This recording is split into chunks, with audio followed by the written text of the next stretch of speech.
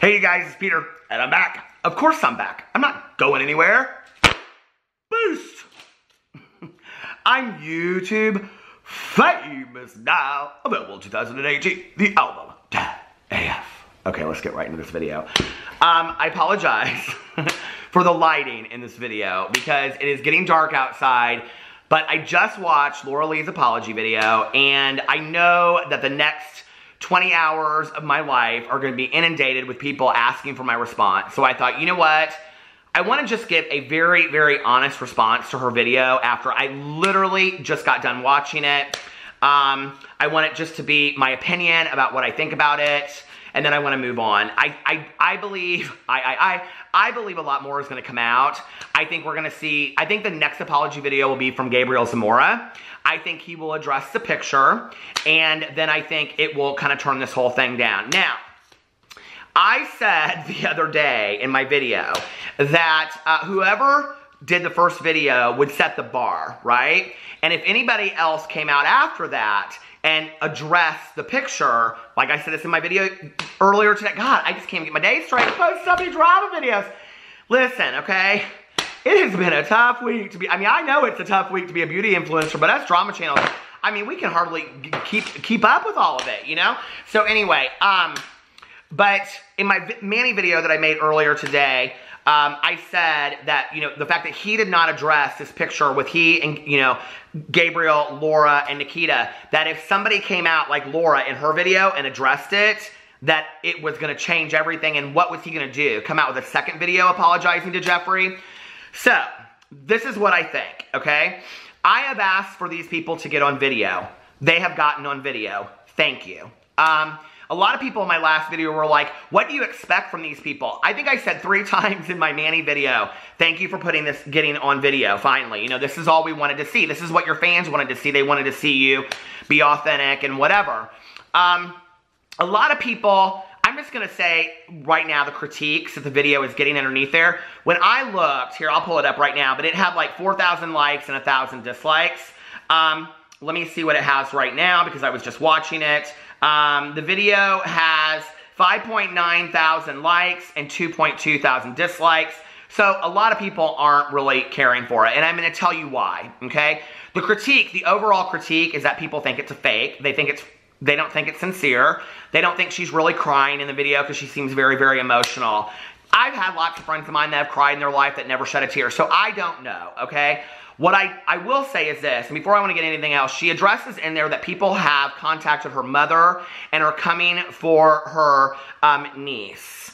Now, having been on the receiving end myself of a lot of hate, that is some cruel ass shit to do to anybody, okay? Whatever your issues are with Laura Lee or any of these people, whatever your issues are with any influencer out there, to contact their family who didn't ask to be part of that in any way whatsoever is really cruel, and I think that's uncalled for. I'm also gonna say that whatever your opinions are, and I'm not gonna highly moderate my comment section, I just never do, I can't keep up with it, but please be nice in how you say things in the comment section below. You know, if you want to say, I don't believe her apology, or yes, I believe her, I'm a super fan, or I was a super fan and I'm not anymore, or I don't really know what to think, you know, whatever, that's fine. I will tell you what I thought. I thought, I liked the fact that it was very short. I liked the fact that it was like four minutes and 53 seconds, okay? She didn't get on there. It didn't seem scripted to me. But the one thing about her and Manny's videos both was that they were edited. Like there were clips taken out of it. I didn't understand why they weren't just like one shot, sit down. I, I didn't get that. Like what was the edited out part? I, but that's just, you know, a YouTuber's eye, I think, uh, looking for things in there. Um, she went in and she addressed the tweets. Uh, I I knew that she wouldn't address each tweet individually, and I think that's appropriate. I think she just said, I'm not the person that I was back then. I'm a changed person. But, you know, maybe she is. You know, I don't know. When she got to the part where she addressed the picture, I was like, okay, this is a game changer. This is what, and I can't speak for the other drama channels. I don't know what they want. I don't know what you fans want out there. I don't know what you just bystanders watching the videos going on expect or what you want. I wanted Laura Lee to get on video and address the picture. She got on video and she addressed the picture. I don't know if her excuse or what she said is true. I guess I think more will be revealed. I think we will find out more as Gabriel does something because he's kind of just waiting to see what happens. a lot of people speculated that Manny did not address the picture because he's waiting to see what Gabriel does with it. And if that's the case, what that says is that this background story isn't true, okay? That nobody knew really the picture was going to be posted. I don't know. We'll find out. I'm kind of at this point where I kind of like hope that is true and then it's just not as deep as all of this, right? But I had asked, I personally wanted to see, okay, Laura Lee get on video and own the picture. I felt like she got on video and she owned the picture. I thought that if the story is true, she did the best that she could do. I think what she said in the video was, listen, you know, like I didn't know the picture was posted. That being said, and this was the part that was important, okay? That being said, I still need to own that part of it. When she addressed Jeffree Star directly and said, I know that we're not friends anymore, but I'm sorry, I was like, okay, you guys, this could have been done a week ago, and we could have just bypassed all of this. It didn't have to be that deep. So, thank you, Laura, for addressing that. I was impressed. Um, I, I, really didn't think she was going to go there. When the video started, I thought she is really going to just address the tweets and nothing else. So, lover or hater, I was impressed with the fact that she did that. Um, you know, I've been highly emotional videos before. I'm highly emotional in all my videos, but everybody knows I'm a crier. You can look at the videos where I'm crying and you can actually see tears coming out. People are saying in the video she deserves an Oscar. Other people are saying, I've never left your side. I love you. It's very split, you know? And I think what's going to happen as we go forward is it's really going to matter what these people do going forward, if that makes sense. I think the fact that they're all coming out with apologies, it was interesting because a lot of people in the comment sections were like, What's with all these influencer apologies? Did you just come up out of a cave? I mean, did you just wake up? Like, there's been a lot going on, right? And I'm happy that they're coming out and they're making apologies on video. Um, you know, I'm not going to say what I want to see because whenever I say what I want to see, somebody always counters that and says, well, it's not enough, right? What I would suggest to Laura is I would suggest to Laura taking a couple days off YouTube. I would take a couple days off of social media. I would take care of herself. She, she has addressed it now. I just bit the side of my mouth and it hurt like hell. Um, she has addressed it the way that she's going to address it, okay? I'm sure that this video went past PR people. I'm sure they approved it.